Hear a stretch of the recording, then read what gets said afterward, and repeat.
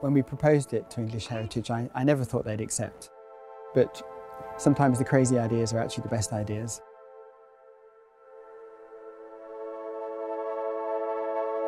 My name is William Matthews, and along with Laurent Ney and Mathieu Mallier from Ney Partners, we are the engineers and the designers of the Tintagel Castle footbridge. The footbridge reconnects the two sides of the medieval castle built in the 12th century by Richard Earl of Cornwall. The mainland ward and the island ward were connected by an isthmus of rock, which has since eroded away, and the bridge recreates that link between the two sides. One of the key drivers behind the project, indeed its very raison d'etre, was to improve accessibility to the site. One of the major problems at Tintagel is this incredibly rocky landscape.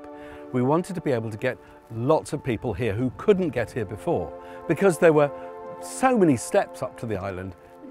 A lot of people couldn't because they had bad knees, they used wheelchairs, whatever it was. Now we have essentially step-free access right from the car park all the way through onto the site.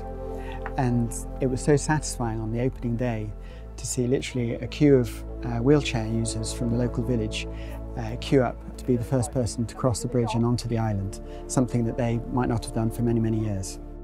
In my mind, this was a textbook example of how you should design a major piece of engineering in a really sensitive heritage or archaeological site.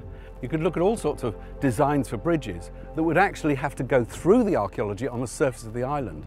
The elegance of this solution was that it's anchored into the rock on either side below the sensitive archaeology. Very, very clever. The materials we used were important not just structurally, but also how it tie into its landscape, its situation. For the bridge deck, we've used Delabole slate, which is mined from uh, the quarry just two miles away. 40,000 hand-split and hand-cut slates have all been laid on edge, like after eight mints. And it gives that, that wonderful sound as you walk across, and that unique experience, that you feel under your foot. When you step out onto the bridge, it's, um, it's really amazing because you hear all the clitter-clatter of the slate. It's such a clever design, and the views are absolutely astonishing. It's wonderful. One word that sort of encapsulates the building. It's, it's not a very architectural word, but it's, for me it's, it's fun. And it's the kind of project that you can see so easily in the faces of users, that the fun and enjoyment they're getting from the project. And that's extremely gratifying.